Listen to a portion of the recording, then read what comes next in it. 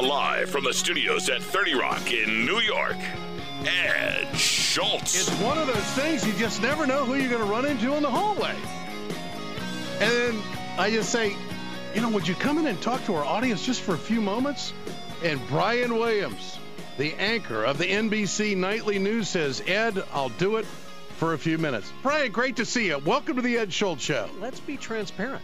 Uh, am I on here? And I, there you are. Okay. Turn it up.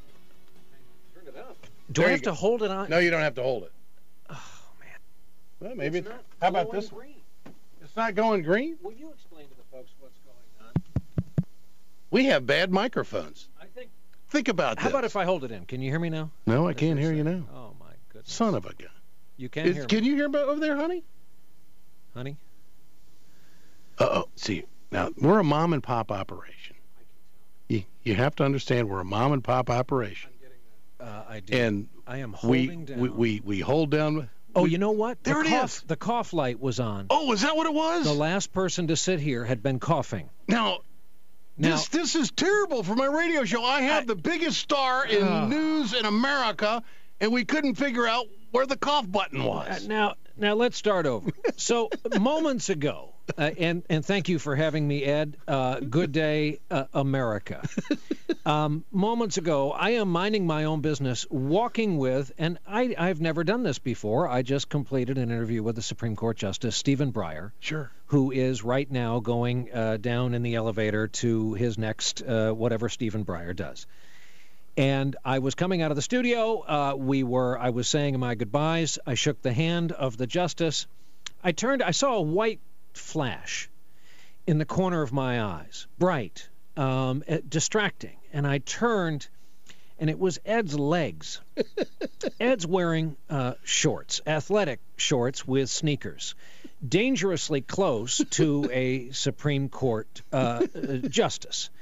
Uh, now, I I was distracted. I said my goodbyes, and Ed uh, comes after me in the hallway and says, "Would you ever do my radio show in that in that earnest Dakotan style?" On which he's made a handsome career. And I said, "Why, Ed?" Uh, a- answering sincerely, Ed, of course I would. Uh, longtime fan, uh, first time caller, and uh, he said, "How about now?" And I looked at my watch. Our editorial meeting is coming up in 20 short minutes. I was in the afterglow of having conducted an interview which I thought was boisterous. Uh, Justice Breyer, I said to him, uh, "Were you happy with that?" He said it was a spiritual interview, and and I, I'm fascinated to figure out where he gets that. We never, of course, uh, uh, dealt with anything spiritual, but he found spiritual in journalism. And I've taken up too much of your time already with this with this monologue. No, not thank at you very much for having me. Oh, well, it's great great to have you with us. Now you have an editorial meeting every day that Uh, two of them at 9:30 in the morning. We Okay. gather to at least send the troops out. When you've got somebody like Richard Engel in Afghanistan, he needs marching orders because it involves security and usually the armed forces.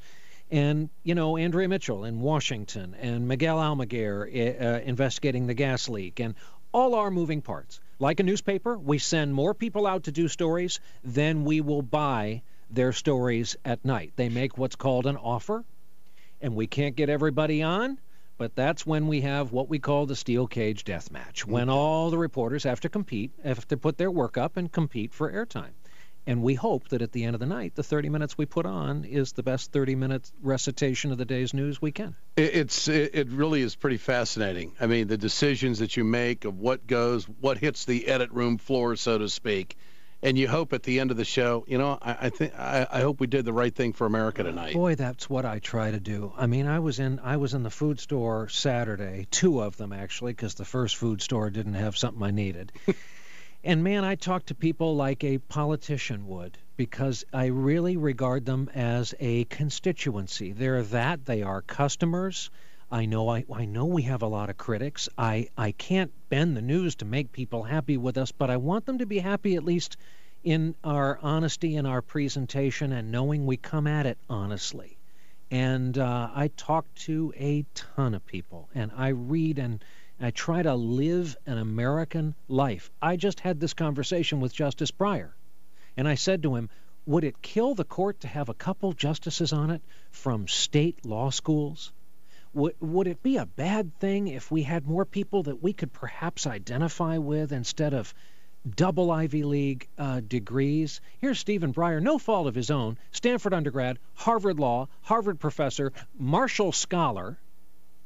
This is a brainiac. Now, luckily, married forever, father of three, grandfather, bicycle rider, car owner, pumps gas, buys groceries. I want somebody who has stood in the express line. He just talked about how angry he gets when someone in front of him has 15 groceries in the 10 or under line, and I said there ought to be a law, and he agreed. So I think that's the news we're breaking. Today.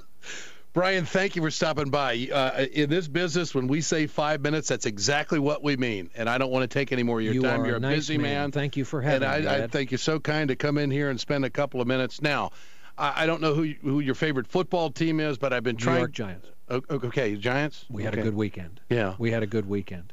I, am a Redskin fan. Oh boy! But anyway, good to see you. Look at the time. Oh, yeah, look at the time. Good to see you. what Redskins really? Well, I think I I don't think that was holding. I think the Cowboys won last night. I, I oh, know I, that that's heresy as a Skins fan, but I'm just saying I. I, I don't I, I don't think they should. All have I know is my boys in blue were dominant. They did yesterday. Brian Williams, the nightly news on NBC. Great to have you with us. Thank you, buddy. Thanks for having me. Thank you. Thanks for coming in. Thank you so much.